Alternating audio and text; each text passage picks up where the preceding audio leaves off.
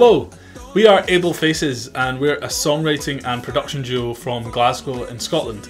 And today we're going to be breaking down how we made our track Wasting My Time, which we did with two DJs called Lolo and Max, and it's out now on Sam Feldt's Heartfeldt Records.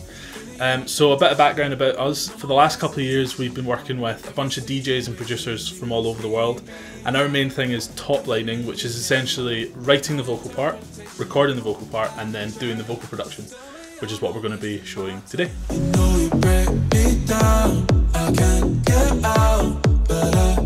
So we're going to go through this song start to finish, our process from getting sent an instrumental, writing the rough voice memos over that, how we wrote the full song, brought it all together, then recording the lead vocals, so getting all that sounding good, comping those, finding the best takes, making it sound as good as it can, make sure the timing and pitch is perfect, and then adding backing vocals to them to bring it all together and make it sound like a complete version of a song.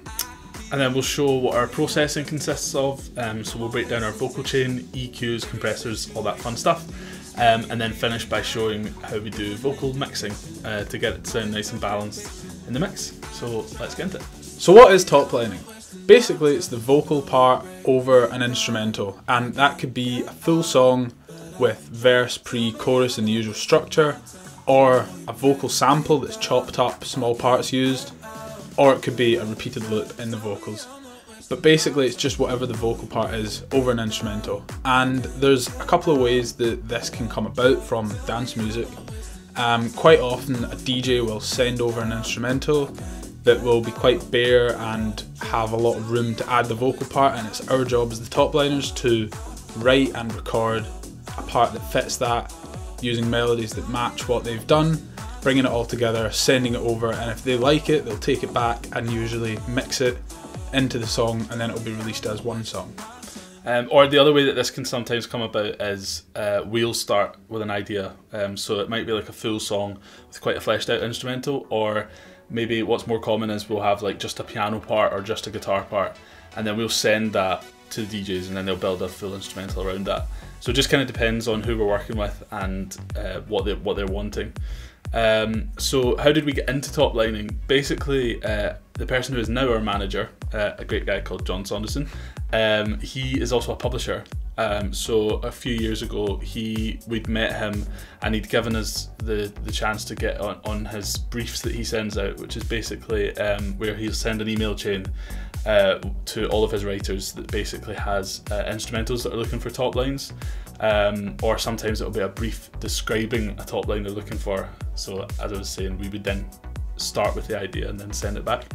Um, and then after doing a bunch of those, we finally got one uh, picked up by a DJ called Mark Benjamin. Um, and that got released on Oliver Heldens' label, Heldeep, last March in 2020. Um, and since then, basically, loads of um, DJs have got in touch on Instagram and email and all the rest of it. Um, the internet's a wonderful thing.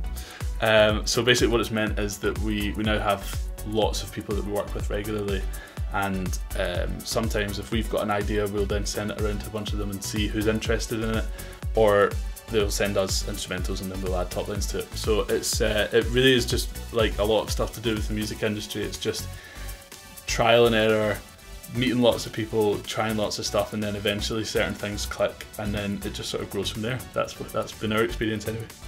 So, how do you get into top lining, and how do you get your top lines picked up by a DJ that wants to work on them? Our advice would be if you are like most people starting out with no access to a publisher that can send things out for you, get in touch with people on social media like Instagram, message small DJs that you want to work with, and quite a lot of the time you'll get a reply if you send something that's good enough, they're likely going to want to work on it. Yeah, and the the way that you can build this sort of rough demo, it could be if you play something guitar, piano, or whatever, just some basic chords, keep it simple. In fact, the simpler the better, because a lot of DJs like that, because then it means that they've got loads of room to add their own flair to it. Um, and if you don't play anything, even just adding a kick drum, just literally a, a solid um, kick going behind it, and then come up with some hooks over that could be enough. Um, the main thing that we would say from experience with DJs is, while you want you, do, you don't want the instrumental to be fully fleshed out that you send them, the vocals should be really perfect. Um, the most the, the way to increase your chance of getting it used by a DJ is if the vocals are perfectly recorded, perfectly edited, and sound like the finished, the, they're ready to go. And all they need to do is add an instrumental because it's about making their life as easy as possible. And uh, these, you know, DJs are, are hearing so many songs every day, working on so much stuff. If they hear something that's half finished or that is going to take a lot of work on their end to get the vocals sounding good, they're not going to want to work on it. Um, so you can't control whether or not they're going to like your ideas, but what you can control is that it sounds professional and it sounds ready to go. Um, so we spend a lot of our time just getting all of our vocals sounding uh, really tight, so that if it, if anyone listens to them, hopefully they'll sort of jump out because they sound um, really sort of well edited and ready to go, and it's easy to imagine what they'll sound like in a finished song. Um, so yeah, just messaging people on Instagram or emailing.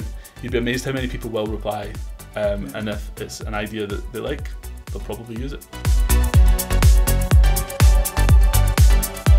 Thanks everyone for watching, we really appreciate all the support from you guys. If you love this video, then smash a like, and if you want to be notified about new videos, hit the subscribe and notification buttons. Peace!